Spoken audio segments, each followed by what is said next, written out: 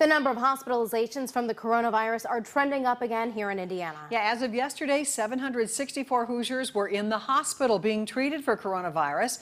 The availability of ICU beds and ventilators still remains steady, with 10% of ICU beds and about 2% of ventilators being used by COVID 19 patients. The State Department of Health reported another 452 coronavirus cases in the state today. That brings the total to over 52,000. Sadly, two more Hoosiers have died. Over 2,500 deaths have been reported statewide. 570,000 have been tested. While positive cases and hospitalizations are on the rise here in Indiana, the death rate is going down. CBS 4's Kayla Sullivan explains what that could mean and the data available for Hoosiers. There are more Hoosiers hospitalized with COVID 19 right now than at any point in nearly a month. The state is reporting 764, and many in the healthcare field aren't surprised by the increase. This is a once in a century global pandemic. We'll have to do many dances of coming on and off social distancing. So, by being informed, we can make good decisions to safely get through this. One way to stay informed every day is the state's website. It reveals daily data on COVID 19.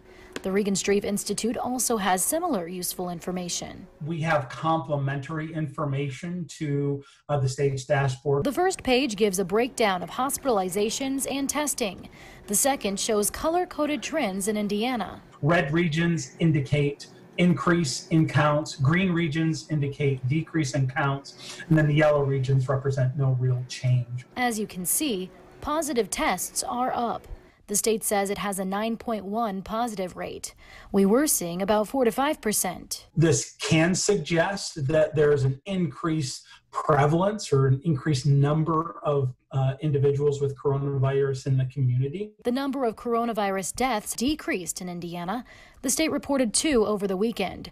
But infectious disease experts say while that is good, it shouldn't be taken as a sign people can slow precautions. So far, we've already seen around 2,500 deaths in just under 18 weeks with COVID. So that is almost 20 times as many deaths as we saw during the flu season. She says it doesn't mean the spread is stopping.